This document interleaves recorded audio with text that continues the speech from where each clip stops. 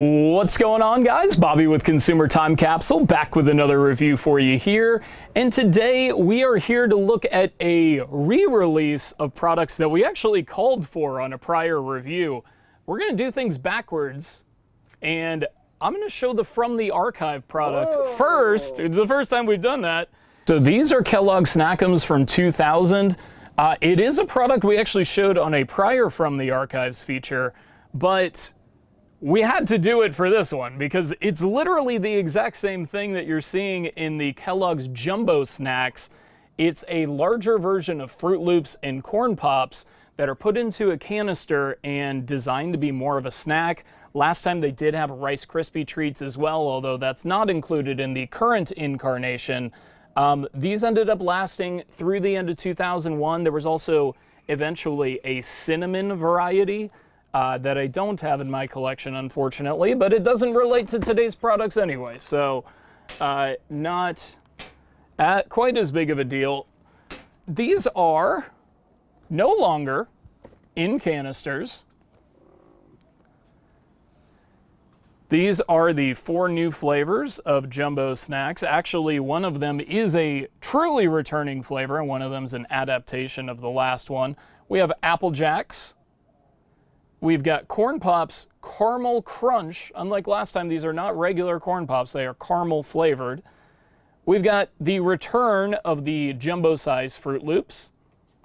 And we have got Kellogg's Frosted Flakes inspired Tiger Paws. Nice. So these are the Apple Jacks jumbo Snax. You can see that the guys. Yeah, I know. Are, are those guys great or what? Uh, you can see that these are quite a bit bigger than traditional Apple Jacks. I'd say at least double the size. I feel like during the first incarnation of the Froot Loop one that they said triple the size. I don't think it's quite triple. But uh, Ryan, I saw you grabbed a couple there.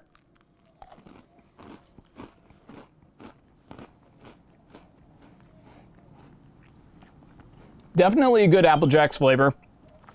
That said, because they're so big, you don't realize how stale Apple Jacks are when they're fresh. Mm. You know what I mean? Like, especially when you douse them with milk, it doesn't really spotlight that even a fresh Apple Jack is a little bit off.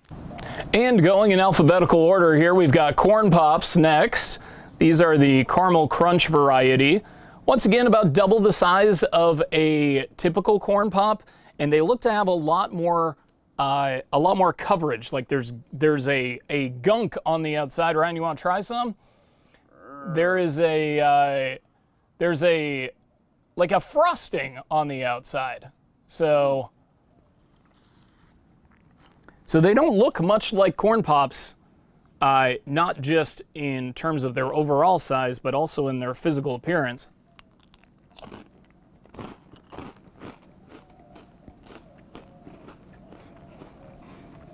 They do taste like corn pops, though. Really? Yeah. Oh, yeah. They taste a lot like corn pops. Huh. I've never just eaten a pop. They're a lot more caramel. You got to have your pop. pops. So, well, that said, they're adding caramel flavor to it, but there's definitely that good, um, that good corn pop base. I would say if you like corn pops, you will like these, but it is adding in a caramel flavor that makes it different enough to justify a second product on the shelves and not just a larger version, version of an existing product. So these are the Froot Loops Jumbo Snax, the returning Snack'Um. And you've got all the colors that you've come to expect from Froot Loops. And it doesn't look like they've made any changes to the recipe, just a change to the size. Um, once again, I think it's about double the size. I guess that that's just the, um, the standard adjustment that they decided to make. Tastes like Froot Loops. Mm.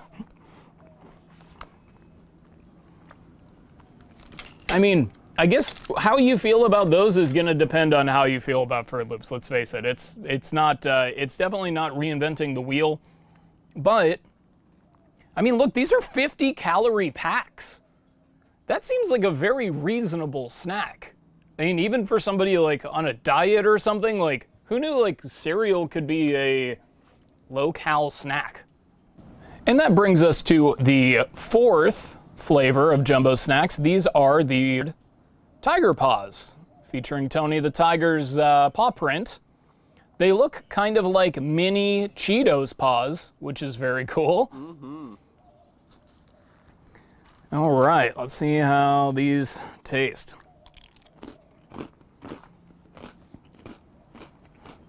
These are good. They taste a little bit like Kix cereal and a little bit like um, did you ever have triple cereal in like the mid 90s? They taste a little bit like that where I mean it's a uh, it's sweet but not overwhelmingly sweet. I mean if you've had Kix, which I think pretty much everyone has, you kind of know what like when you pop them in your mouth, like they have that sweetness to them, but they still kind of weirdly feel healthy. These are like that, only they're paw shaped, so they're better. the gimmick grade of the jumbo Snax, like, look, this is something that we called for. Really, the only major change that they made was instead of canisters, they put them in boxes. And as a collector, you guys know I love saving flattened boxes because they take up no space. I do like that they have four as part of the installment. They have some re returning flavors, kind of returning flavors, totally new flavors. I'm going to give the gimmick a 8 out of 10. You know, very solid uh, offering from Kellogg's and one that I hope maybe gets some future additions to the line, although I'm not holding my breath on that. Uh, so these were $3.49 or excuse me, $3.99 per box on sale at Kroger. The full price is $5.49, which seems like way too much. Way, way, way too much for just a box of snack cereal. like buy almost two boxes of cereal instead, right? Um, capsule countdown, ranking the four flavors.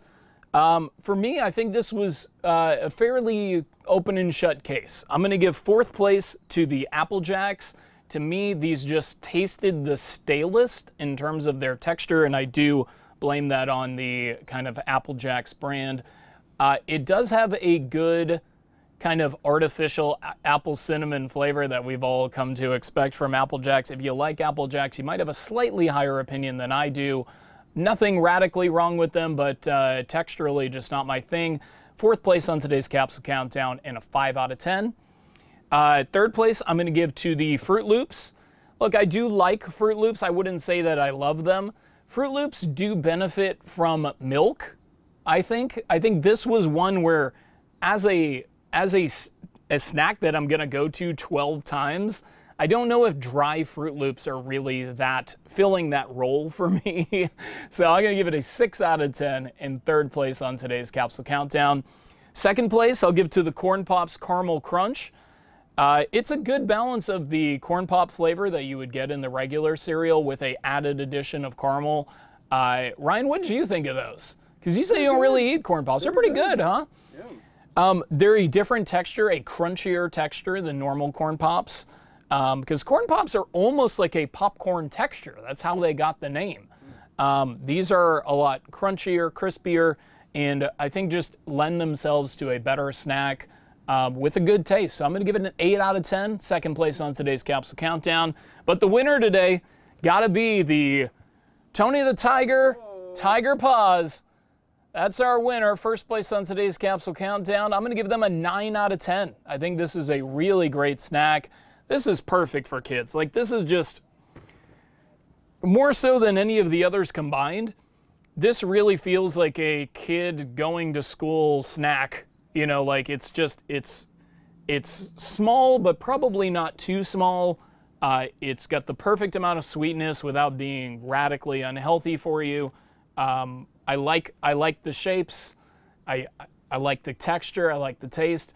Really just an overall well-designed product and a welcome addition to the line. Stay tuned next Monday for an all-new CTC review, number 349. We're getting to 350 really fast. It's going to be the Pineapple Fanta Snack Pack Gelatin and the what was it? Uh, Starburst fruit by the Starburst fruit by the foot, candy in fruit snack form. You can't beat that.